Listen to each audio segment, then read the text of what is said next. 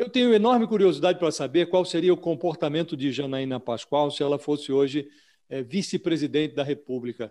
Divergiria publicamente do presidente, invadiria o gabinete dele para dizer: olha, deixe de fazer ah, alopragens. É, qual seria o comportamento da vice Janaína? Eu tenho medo que a gente saísse na mão. Eu tenho medo, entendeu? Porque tem hora que eu tenho vontade de pegar o presidente, aí, gente, e fazer assim, pelo amor de Deus, entendeu?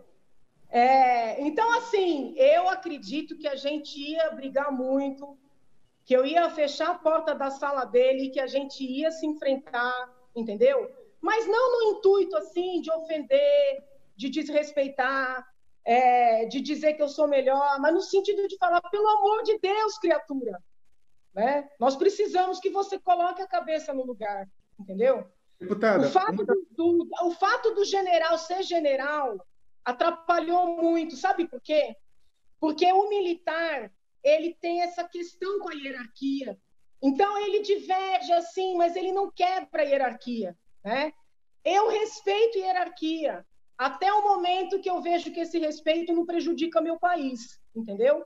Entre, a senhora colocou agora que daria na, na hora do vamos ver, quando visse que o presidente estava saindo dos trilhos, daria aquele chacoalhão, etc. E a senhora tinha comentado antes que o presidente é extremamente mal assessorado. A senhora colocaria os três filhos políticos dele como entre esses mal assessores? Oh, com certeza. Com certeza.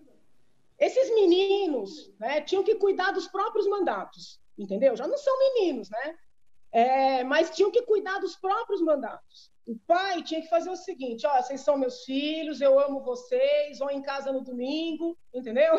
Durante a semana vocês vão cuidar do trabalhinho de vocês, entendeu?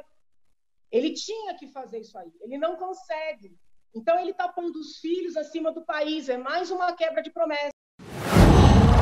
Qual?